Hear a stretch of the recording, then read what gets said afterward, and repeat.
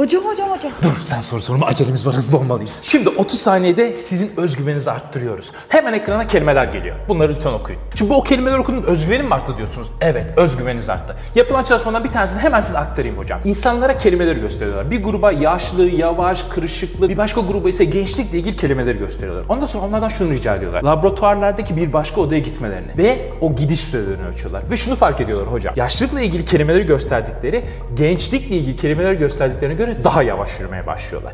İşte bunun adı priming defect. Yani sizin zihniniz duyduğu kelimelerle bir sonraki uyarana hazırlanıyor. Ben size eğer köpek dersem biraz sonra göreceğiz o kelimedeki boşluğu kurt olarak dolduracaksınız.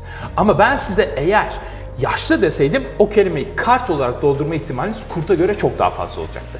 İşte az önce de özgüvenle ilgili o kelimeyi duyduğunuz için isteseniz de istemeseniz de farkında olsanız da olmasanız da ondan önceki anınıza göre birazcık daha fazlasıyla özgüveniniz artmış durumdaydı.